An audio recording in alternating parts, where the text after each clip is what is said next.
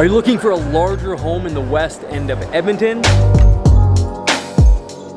My name is Mike Banks with Remax Excellence and I have the privilege to present to you 8820 187th Street in the West End neighborhood of Belmead. Now I always say that when you buy a home, you're also buying the neighborhood, so let's talk about this awesome neighborhood first. Belmead's location in the west end of Edmonton is so convenient with just steps to West Edmonton Mall and immediate access to the Anthony Henday and the Whitemud to get you quickly and easily anywhere in the city.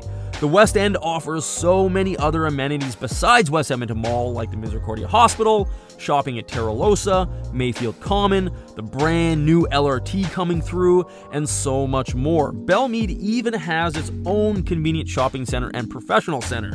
There's two schools in this neighborhood, a community center, and expansive parks and green spaces. This home is perfect if you have a larger family or you're just looking for a larger home because it's a very big bungalow at over 1,500 square feet upstairs alone.